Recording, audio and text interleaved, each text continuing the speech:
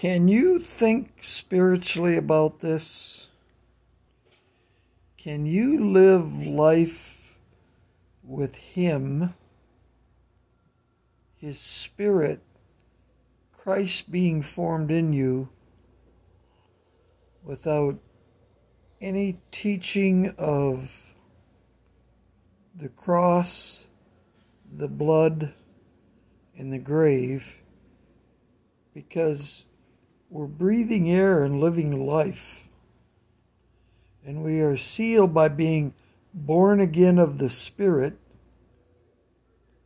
Born of the Spirit. You must be born of the Holy Spirit, Nicodemus, to be joint heirs and have the hope of eternal life, immortality dwelling in the light with Him not the cross, not the blood, not the grave, with Him.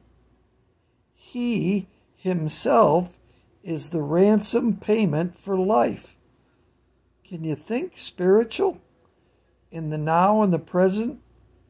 And don't let Gnostic mixture Christianity put you in mental and spiritual bondage.